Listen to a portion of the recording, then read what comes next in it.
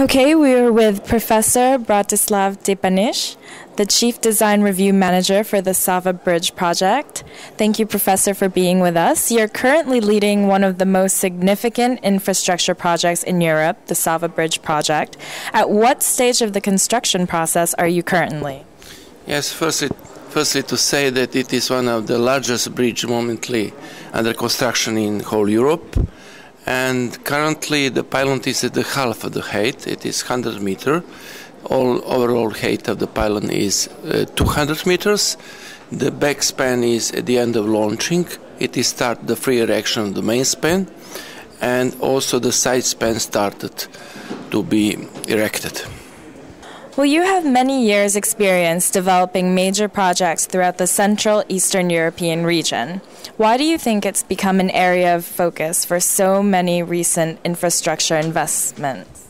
Yes, this area is very interesting because it is uh, up to now in transition period. Now it is just opening for the uh, for the foreign investment for the Western countries, and not so many developed, neither highway, neither railway.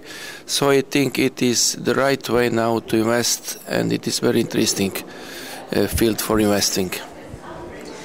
So I understand that there are several projects currently in development in Central Eastern Europe, like the bridge over the river Odra in Poland, the new motorway development in Kosovo, and the Danube Bridge 2 linking Bulgaria and Romania. Which projects are you most excited about within this region? I think that all the, these three projects are very interesting. I, I, have been in Poland for 10 years uh, designing the largest bridge in Poland. It is now constructed, and I know the in the Poland there are two large rivers, Odra and Vistula, and they need several bridges across these large rivers. So I think it is it is the opportunity to build it now. In Kosovo, Kosovo is new developing area and to be open to be open for the Europe, to be open for the transition, to be open to to pass through from Albania to the other countries all around to Kosovo, Macedonia, Serbia, Montenegro. I think it's it's very important to build the highways. And I know that in Kosovo uh, several highways are under construction.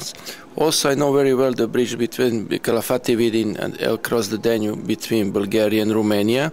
It is very important for the Europe to be connected to the south and southeast to, to North Europe, not only through my country, Serbia, but as well through Romania and Bulgaria. Okay, as a speaker at Construction IQ's Bridges events, you will be sharing your experience from the Sava Bridge project. How important do you think it is to learn from regional case studies, and does it help tackle the challenges you currently face? Yes, I think it is very important. Uh, we can learn from the other case studies in the other countries in the Western Europe and also in the other Central European former Eastern countries. I think uh, that all these case studies have some similarities, although they are uh, di- different different issues as well.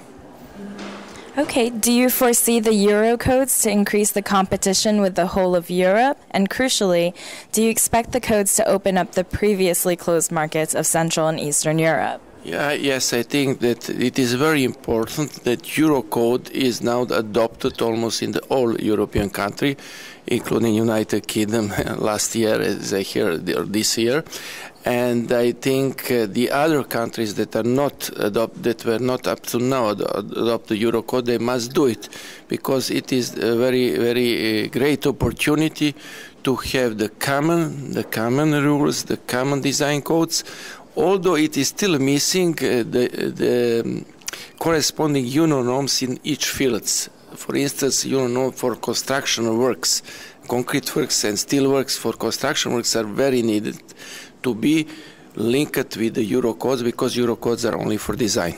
Thank you. Do you think that the Central Eastern European bridge building community have a lot to learn from Western e- European experts?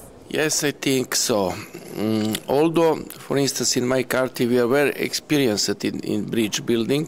We had some of the bridge world records for some bridges, for large bridges, cable stayed bridges in former states, former Yugoslavia, but now everything changed. and it, the technology is going up. And I think that we can must learn from the Western countries, from the Western experts, not only in design and construction, but also in organizational works, to have the quick works, to have uh, feasible feasible structures, to have no risks in, in constructions. Everything, I think it is very necessary. Okay, and what do you think the biggest benefit of hosting conferences such as Bridge Construction Europe are? I think these con- uh, these conferences are very necessary to to exchange the, the ideas between Eastern and Western countries, to exchange the the experiences between the, the, the between the experts, and I think it is very necessary.